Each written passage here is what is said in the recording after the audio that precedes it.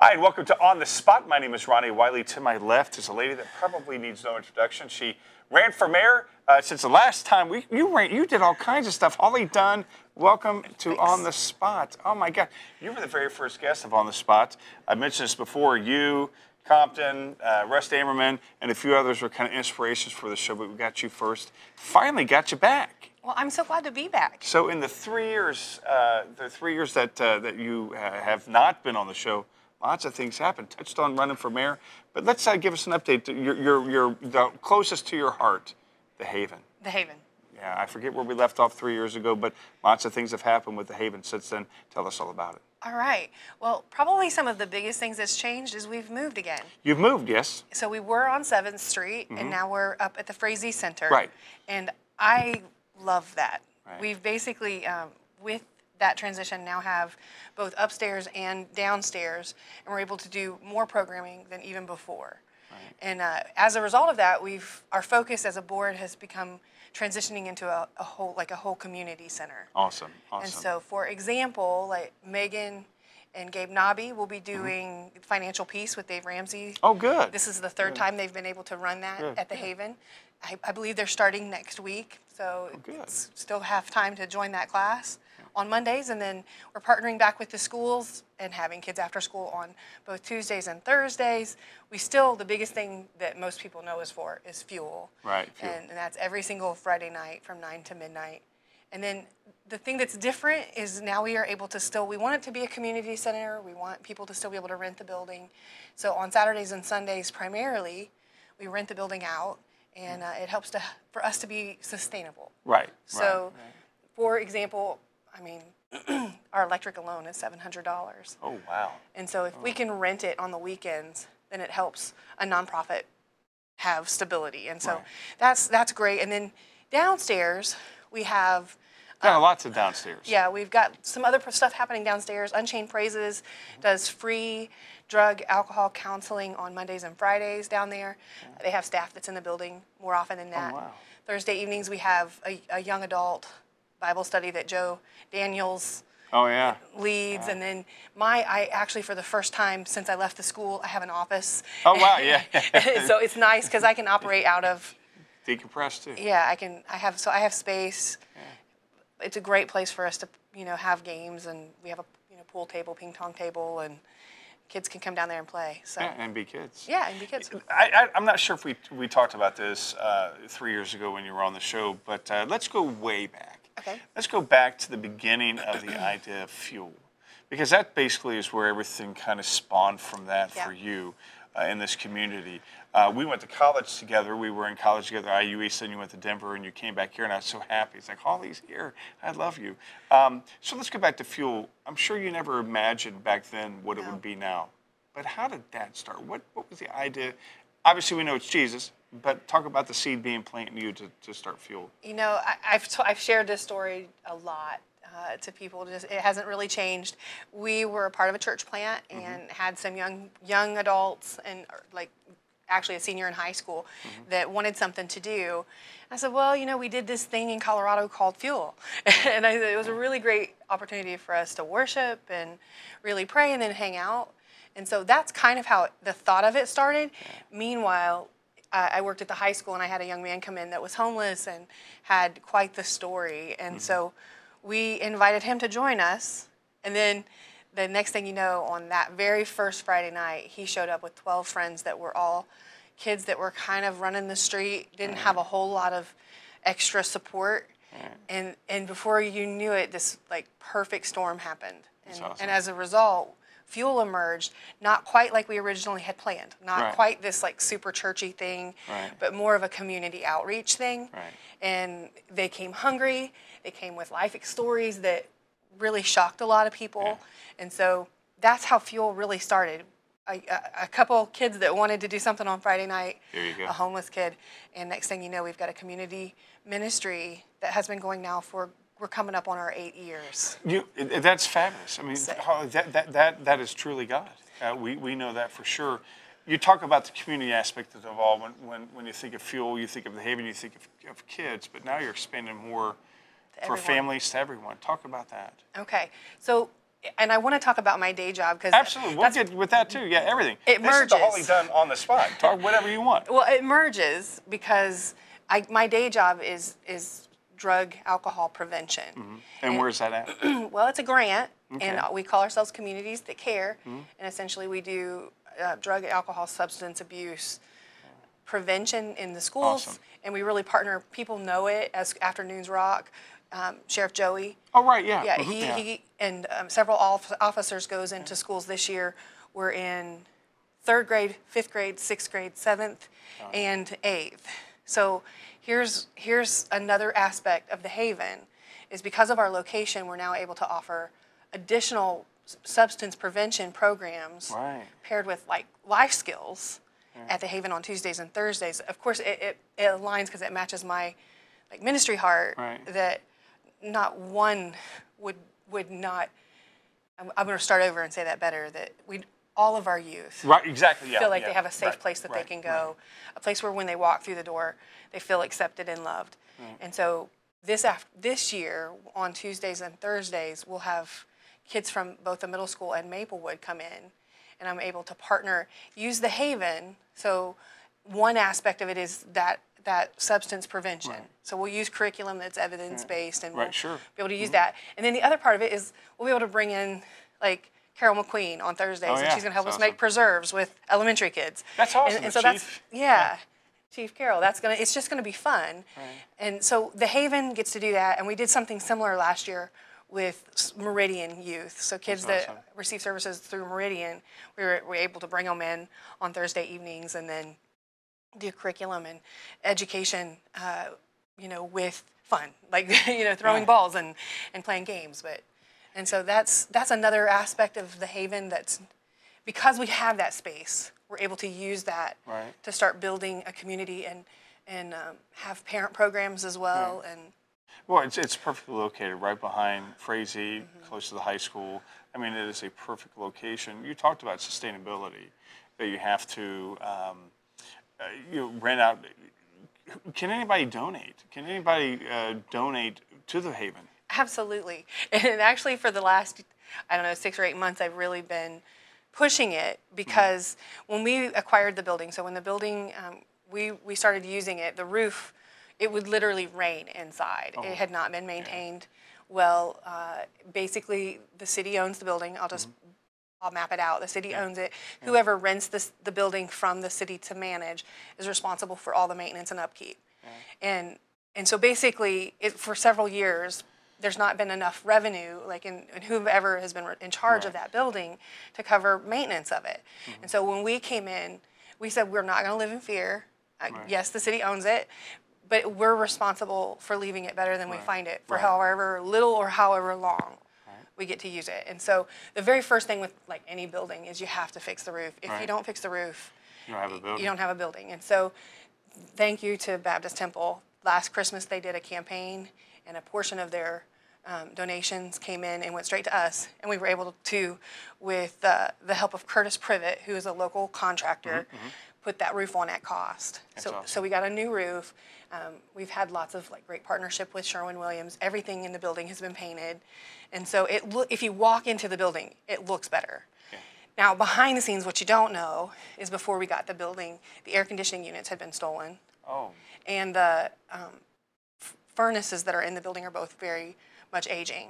Hmm. And so when we started getting estimates on what it would cost to put air conditioning back in the building, because obviously it gets hot and Right, humid sure. in Yeah, Indiana, absolutely. we, we the number has climbed, and so talk about living in fear or trying not to. so we, it stays warm this year. We didn't get, we weren't able to get the air conditioning in like we'd hoped. We have raised basically forty-one hundred dollars, It's awesome. And with all of that to say, it's it's more like eight to ten thousand that we need, Wow. and it's the community's building. So if someone would like to contribute to that, we would would would be, grateful. super grateful. the grateful just doesn't even seem. You're right. Yeah. You, You know, I mean, yeah, right, we'd right. be over the moon. Just because we, our desire is for our community to be able to come and be educated there Right. and use it as a place to better ourselves. So, for example, we've been in um, conversations with the NATCO Credit Union out of Mm-hmm. Richmond that does classes um, through the Empowerment Center. Mm-hmm. And so we would like to do some poverty education and simulation and honestly, we with sky's the limit. Would love to see that building used, basically Absolutely. all day, every day. Absolutely. Now, if somebody wants to donate their time, if someone wants to donate uh, their talent, if someone wants to just be involved, not necessarily monetarily, but obviously that, that is that is a key. How can they do that? How can they get involved with the Haven? Uh, let's say somebody's like, you know, hey, I'm good at uh, fixing something. I can do it. You know, to Plumbing. plumbing. Plumbing. We, we've got lots of plumbing. plumbers needs. out there. Yeah, look straight at the camera. We have lots of plumbing needs. Plumbing needs. the bathrooms have not been maintained in years. Yeah. Well, how can they get involved? uh, Sure, this? they can contact me. My telephone number is 765 967 2584. I also have email, and that's Ho- it's Holly, Holly. H O L L Y, D as in Denver, at fspp.org. That's Family Services and Prevention Programs.org. So FSPP.org. FSPP.org. Absolutely. And also, if they want to rent the building, and I, I apologize that I don't have that number right on me before we looked it up, uh, Michelle Kelly at Calvary Baptist actually handles all of the, yeah. the booking. So if you want to rent it, uh, I know that we have, you know, a lot of community meetings are now taking place there.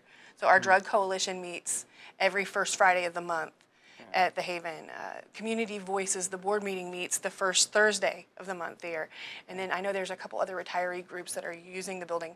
We would love that. So um, if it's anything educational or beneficial to the community, we try to do that for free. So like we'll do a drug take back day. The I believe it's the the I should have looked on my calendar, but the first Saturday in October, that's happening at the Haven. Obviously, we're not charging anybody for that. It's awesome. So, was- it's a to me- community center. Now, what is Drug Take Back Day? What is that?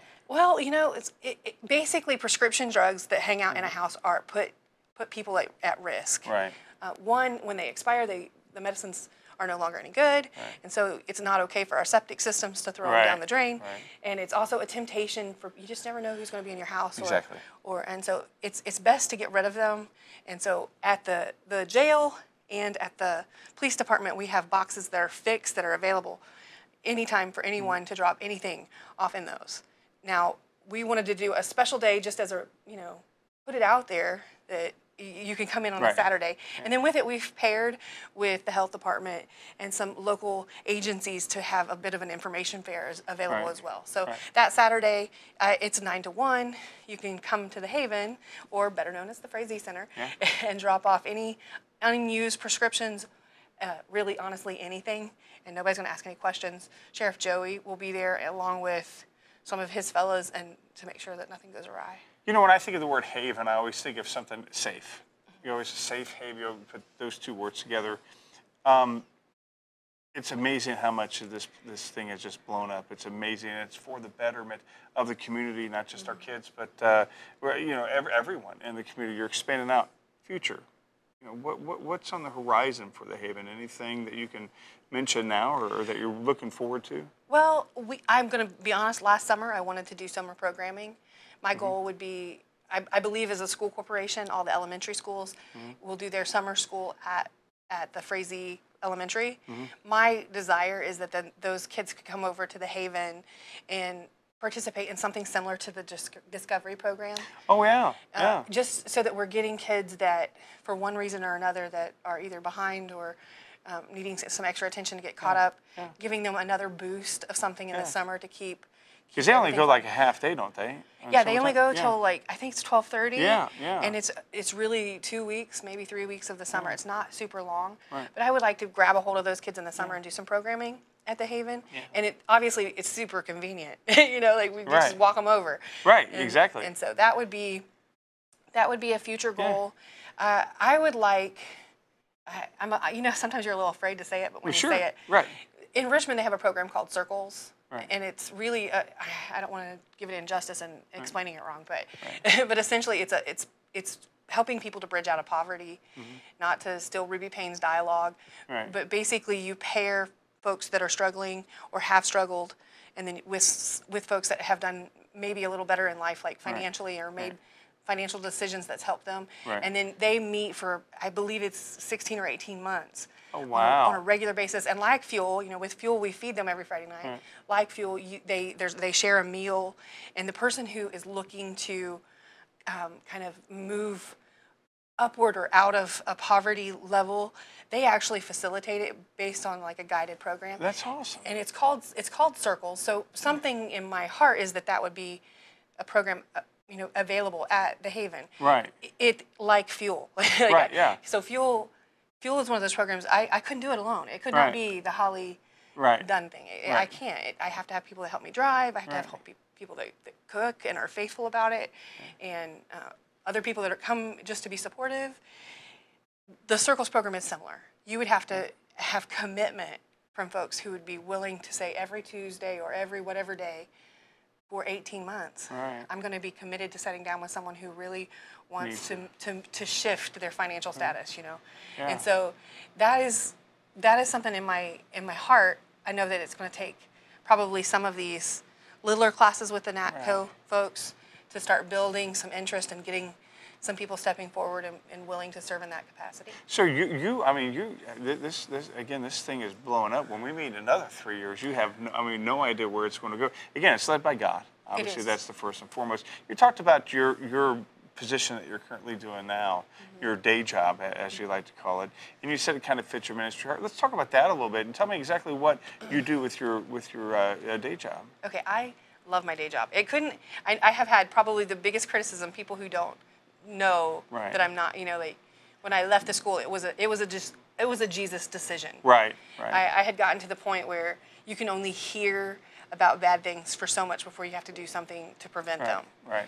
And so my job was like a hand in glove Right. in that I'm able to, I was able to spend a lot of time kind of almost in a university setting in Right. that it's every training, every webinar and whatnot that has anything to do with substance abuse prevention, Right. um, the dynamics on the family. Like over the last really two and a half years, I, I'm privy to go to that. Like I've, Right. I've been able to go to Washington D.C. and sit down with with crazy, powerful people and talk about where drugs are coming into the United States Right. and and what are we doing to, to prevent it. So that when I sit down with people like Ronnie Wiley, who Yeah. has a platform Right. to you know talk to people, that I can I can help you know the latest trends Right. and know that information and, and so so my job is really at least two or three parts. One is public education. So some some counties or communities would call me a public health person.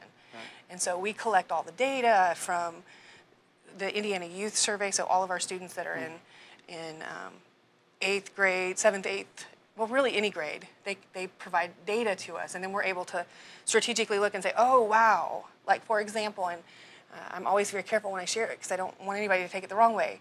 But the data last year shifts says that girls are using three times as much as boys. God.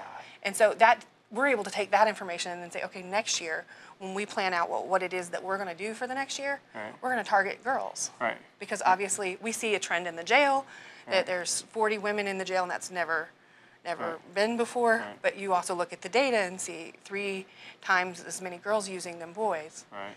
it, I, it's a predictor. So my job is to look at that data and that information, and then partner with some other folks that have, you know, done evidence-based programming Right. and find the program. It's like a prescription. Like you're sick, and you, we go through and get the diagnostics, and then there's the, the medicine or the prescription. It's the what you need to make you well. Right.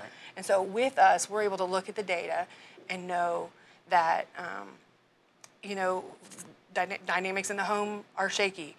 Commitment to school, Right, so like right. being like committed to I will graduate, is shaky, and that um, we use drugs at a higher rate than elsewhere, but we don't see the harm in that. It's like we, we've hit we've hit for years that smoking is bad for you, Right. but somehow the perception is that marijuana is good for you. Right. Exactly. Yeah. And yeah. reality is, well, that's You're a buzz. It's a buzz topic. It has all of the same like dangers to your lungs. It shortens your IQ, and they know it. They've tested it, and so I'm able to take that information and then come in and, and provide programming. And and a lot of times it goes back to it will never happen to me. Right. I Especially am in teenagers. control. Yeah, especially teenagers. It never happened to me. I'm in total control. And, and we know that's not true. So you're digging deep into the heart of what causes it, where it's coming from, and why it's happening. Mm-hmm. And again, that's the key to treatment, I believe, is to find out what, what causes your use. We can lock somebody up for 30 days, not keep them away from drugs they won't use. But when they get up, they go right back into that environment, boom, they're using. Again, we've seen it over and over again. It's stopping the repeat. You know, let's make when when I was working at the treatment center, I would always tell everybody, let's make this the last time that you've gone to rehab. Let's make this the last time. What was the difference before, and let's change that. And so you're doing that, and it's you're living your heart. Yes, I Is am. basically what you're doing. And and you know, like with that, I get to go be a part of like there's a, a meeting regularly at the hospital, and you know, Mm-hmm. Which they're doing big things. right, ten million dollars to go towards specifically um, Mm-hmm. detoxing. And so then with that in the pipeline for next year, we need to know okay, so once people spend, you know, three to eight days detoxing, where are we going to put them for treatment? Mm. Exactly. Yeah. And yeah. so wish we had one here. on the yeah, and, and we do with House of Ruth and One Sight Ministries, but they're they're not enough. They're doing great things, but we're going to need more. And so part of my my job is then partnering with the community and doing whatever we can to support you know whatever it is that we're going to need. Does that make sense? Yeah. Is, oh, absolutely. Yeah. Yes. And, and then, you know, one of the biggest things that we're doing with my job right now, and I just don't want to forget it because I, I want to say it, you know, is, is basically if you believe that everybody uses drugs, so if you believe that everybody's smoking or everybody Mm-hmm. is um, drinking, you're more likely to do it, right. right? So Fayette County has had this reputation of that we use drugs. Oh yeah, that we're just drug heads. Right, and so then when the kids look answer the questions on the survey, they, they believe that everybody's that everybody's doing it. Yeah. So like when in reality, and I don't want to throw numbers because I, I don't have the Right. the right numbers in my head today, but when it's like 20 some percent are and 70 they believe 70 some percent are, Right. then it increases their chance of doing it. Right. So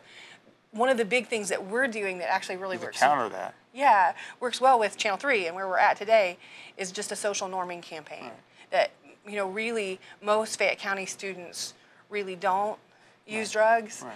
And so last year we launched Be Your Own Kind of Superhero. Mm. Oh, yeah. meaning like, you know, what what does a superhero look like? And then it, we paired it with the curriculum that the officers are doing in the school. And then this year we've we've added Be Your Own Kind of Superhero, be the best you can be, Right. be drug free Right. and it's just that that continuum of believing that we don't you know do not all of us do drugs like i don't Right. I've don't misuse drugs Yeah. you know and so I've been sober 46 years. all Uh, yeah. right right like we, right, yeah. it's, it's the only preventable mental illness Yeah, If you exactly, I if you don't agree with ever, that. if you never do it Yeah. then Yeah. you'll never have to, I to agree deal with with it I agree with that. and so anyway that's my day job and and it's a hand in glove like i get Yeah. to work at the with SADD students i get to work um, that's students against destructive decisions Right. Right. Yeah. Yeah. I was gonna say. I, I get to work in the in the middle school with some kids that we've identified, and again with Maplewood kids this year, and then for the first time ever, they let me count fuel on my timesheet. Oh, that's awesome. And so I, it is it is something that I it is my passion, but it also fits. Yeah. Like I said, you're living your heart. Right. You know, it's, it's sad. I always thought with students against drug driving. It changed names. Oh, okay. So It, it's once it was. It, yeah. it started out with MAD, and then it went to, which was Mothers Against Drunk Driving Yeah, and Students yeah. Against Drunk Driving. Now it's destructive decisions, which includes like um, self harm and Right.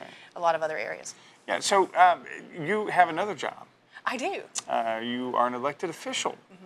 Uh, last time you ran for mayor, first woman to run for mayor uh, in history of Fayette County, so you got that going for you. Um, but you ran for city council or county, County council. council. Sorry, county council this time. Tell us about that. I mean, was it everything you expected? And if not, was it more than you expected? I mean, tell me all about it. Well, you know, I'll tell you um, the difference between, and I'm just going to be real because I've never been anything but real. Right, yeah. And that is You're not a politician. I'm not a politician. I care about Connersville, and when I made the, the decision to buy a house in Connersville, I made a decision for this to be my home. Right. So whether I'm an elected official or not, I want to do the very best I can to support the people who are. And so um, for me, when I decided to run for county council, it, it was a huge decision hmm. because running for mayor was hard. I mean, I'm looking at the camera and I'm just going to tell you, if you run for something, it's hard. It's, It is. People, people who love you won't look at you. Yeah. you know, people who have like been your friend forever, suddenly it's like you're a leper. Yeah, and, yeah. and I'm like, wait a minute, I'm the same person. Right. You know, and then I also, you know, running, I, I, I feel like I've shifted my dialogue instead of saying when I ran for mayor to two years ago, because right. I, I don't want to the rest of my life To be. say when I ran for mayor Right. and lost. Yeah. you know, but anyway, with that said, it, you just have to really put yourself out there and Mm-hmm. and be um, willing to be criticized for everything.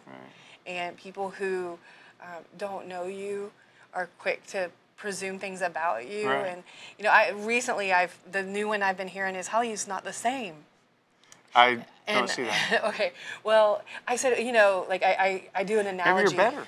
Well, I don't know. I do an analogy with a boat, and I, you can only put so much in the boat before it starts to sink, hmm. and so you have to pull back on some things Right. in order to in order to stay afloat, hmm. and or you have to distribute the weight. And so for me, where I'm at is you know obviously I have a full time job. I have full time county well county council, Yeah. and then you know with Your running ministry. yeah with running the Haven and like serving Jesus it. It means I get to, and I love it. I don't ever want to say no to Sunday mornings. Like, but if, if somebody asks me to come on a Sunday morning and present or speak, I always want to be available to Right. that. And so, uh, yes, I'm probably not at as many public events as I, I once was, but I've added two Mm. Other other really big Yeah. things to my life. And Yeah. I, I still love Jesus. I still Of want to serve our community. And, Right. and obviously, I love county council. I love it. I didn't ant- anticipate because it's it's it's such the financial entity Right. of the community. I mean, of the county, and I didn't know that I would like it as I'm much. glad you know what I mean? Like, I- Right. I, like to problem solve. Yeah. This is a different kind of problem solving. You know, uh, we talked about it. You're not from here, from Ohio. Same with me. Uh, we were in college. You went to Denver. You could have went anywhere. And, and and that's why when you made that phone call to me, you said, "Hey, I'm here in Connersville," and I remember you asked me to pray for you on your, your, your job at the high school. Remember that? And, and I was so happy for you. I guess the question I want to ask is, you you, you want to make Connersville better, but you're not from here. Why? I think Connersville has some of the greatest people. I think so too. And um, but Because you hear kids say, "Oh, this place is terrible. I want to move out. I can't wait till I turn 18. I'm out of here." You hear that? I will also say that I cannot say it separate. It, is that it's a calling, and I, I may have shared this with you before, Yeah.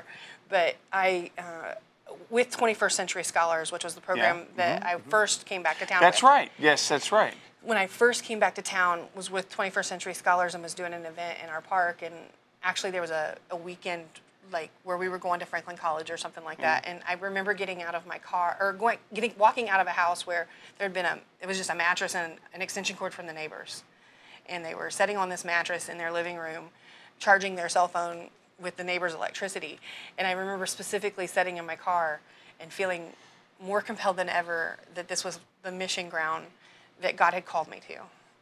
And and I mean, my whole life. So at 19, I went to the Philippines, and since that time, have been, you know, all over the world. But that day, getting in my car after leaving that family's home, it was just really, really clear that this is where I needed to be, and where, while I may have a lot of student loan debt and a lot of education, um, this is where I felt like my education could be most effective, where the gifts and talents that God had given me could be used most, you know, vivaciously. Do you know what I'm saying? Yeah. Like this, Oh, this was it. And so, yeah, Connersville is a mission. And if you come to my house, I have a, a, a shelf, you know, with both my parents have passed away, and it's kind of like a little bit of trinkets.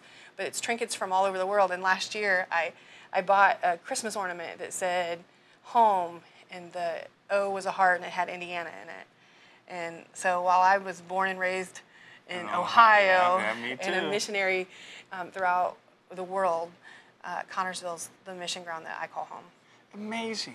Amazing that God brought you here to do wonderful things. And it's almost a tragedy that, um, that, that we need these services, but thank God that we have them. Right. Thank God we have them. Got about a minute to go, Holly, before we wrap this up. You know, I tell you, we can probably have you on next month and the month after that. So much information, so much positivity.